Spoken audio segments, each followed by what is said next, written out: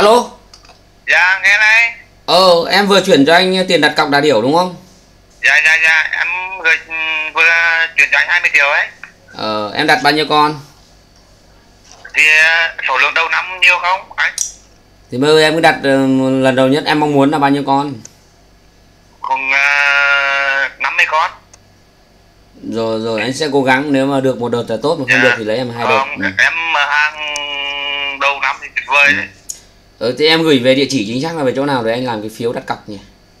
À, mà hôm anh gửi cho em lần ấy, ở Nghệ An ở ngay ờ, đường, chỉnh đi vào ờ, gần ờ, cách ờ, ờ, thành phố Vinh cỡ ba mươi cây.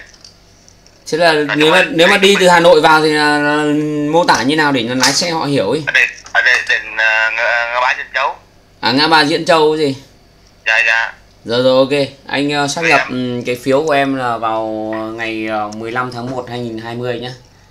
Dạ anh dạ ờ, cảm ơn anh dạ ừ, vì ừ. em nuôi để cuối năm cho kịp á Rồi, rồi, rồi. bị nói hai ba lần hai ba anh phải rồi. gọi điện lại để anh ờ, làm cái phiếu cho ghi vào lịch của anh nhá. dạ dạ dạ ơn anh Rồi rồi Dạ, ok dạ. ok ok.